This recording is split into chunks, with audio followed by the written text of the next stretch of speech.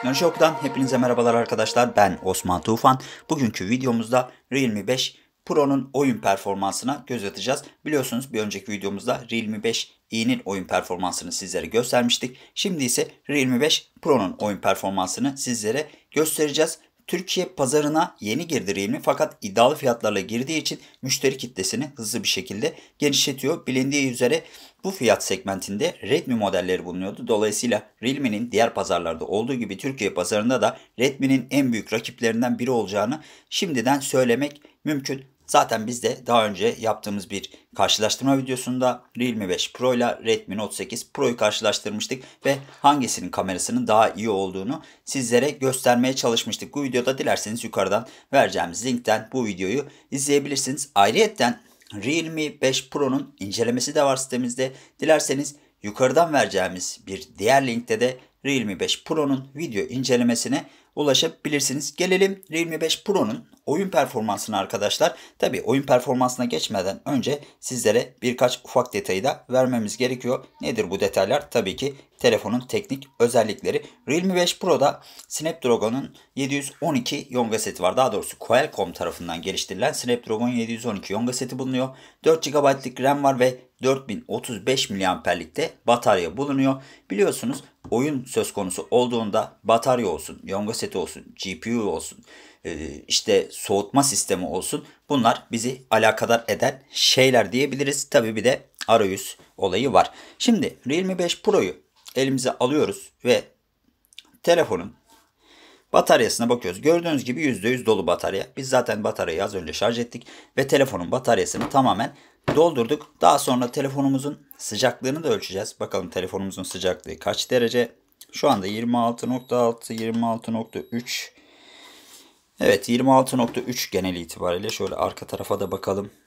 26.3 yani 27 onun sıcaklık değerinin yaklaşık olarak 26-27 arasında olduğunu söyleyebiliriz. Dilerseniz yavaş yavaş oyunumuzu açalım. Bakalım oyunumuzda nasıl bir ekran bizleri karşılayacak.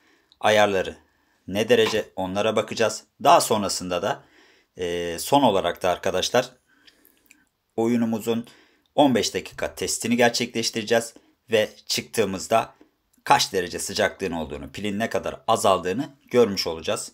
Şu anda oyun yükleniyor. Biliyorsunuz bu yüklenme süreleri orta segment modellerde biraz uzun sürüyor. Kabul edelim. Şöyle misafir girişimizi yapalım. Evet. Yüklenme hızlı oldu. Daha doğrusu %99'a kadar hızlı yüklendi diyebiliriz. Evet. Şunları kapatalım. Atlayalım. Devam edelim. Kısalım sesimizi. Kısalım diye açtık. Soğap gelmiş. Hoş geldi. Devam etmek için dokunalım. Klasik ekranlar. Evet.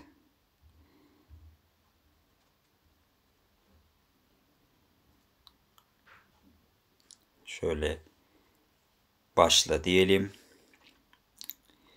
Başla. Evet arkadaşlar ben size e, sadece oyunun ilk kısımlarını göstereceğim. Daha sonra 15 dakika sonrasına geçeceğiz zaten. Hani bir yükleme ekranlarını, e, ayarları falan göstereyim size ki hani telefonun oyunu hangi ayarlarda da açtığını görün istiyorum. O yüzden biraz bekletiyorum sizi. Evet oyuna girdik. Ön önce şu ayarlara basalım. Bakalım telefonun önerilen ayarları neymiş. Onu bir görelim isterseniz. Şöyle ses ve grafikler. Evet gördüğünüz gibi hem grafik kalitesi yüksekte hem de kare hızı yüksekte. Ee, alan derinliği açık. Gerçek zamanlı gölgeler açık. Roll gol açık. Ragdoll pardon. Düzgen düzgünleştirme açık. Okuyamadım bir an ekrandan. Evet biraz gidelim bakalım açık detaylara falan bakalım şöyle. Evet kötü değil. Ben şimdi bunu 15 dakika boyunca test edeceğim arkadaşlar. Daha sonra geri dönüş yapacağız ve bakalım kaç derece bir sıcaklıkla karşılaşacağız. Bunu da görmüş olacağız.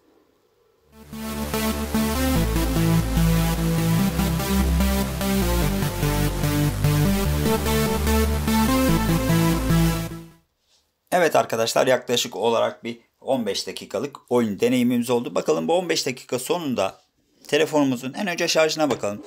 Ee, şarjımız ne kadar eksilmiş. Sonrasında hemen ısımızı ölçelim. Bakalım ısı ne kadar artmış. Bu 15 dakikalık oyun deneyiminde onu da bakalım görelim. Çıkamadık oyundan. Şöyle şuna basalım.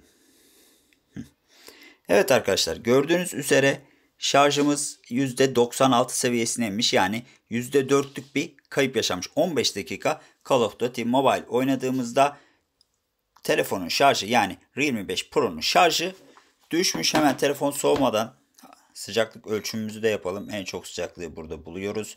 Genelde 33.9 derece buralarda 33.4 aşağılar daha soğuktur muhtemelen. Evet 32'lere indi. Yani yaklaşık olarak bir 34 dereceyi gördük. Yani 15 dakikada telefonun sıcaklığı 6-7 derece bandında artmış. Evet. 33.9 gördük en fazla diyebiliriz. Kısacası özetlemek gerekirse arkadaşlar Realme 5 Pro'nun Call of Duty Mobile'deki oyun performansı bu şekilde. Tabi e, grafik ayarlarını gördünüz sizde yüksekteydi. Kare hızı da yüksekteydi. Dolayısıyla bunları en düşüğe alırsanız muhtemelen şarj tüketimi azalacaktır.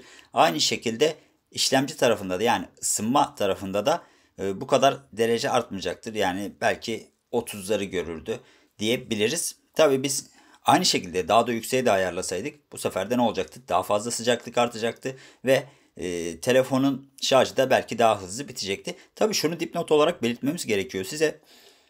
Bu şarj olayı her zaman doğru orantıda gitmiyor. Yani %100'den %96'ya indi fakat belki şarjımız %30 seviyelerinde olsaydı biz 15 dakika oyun sonrasında %20'leri görecektik.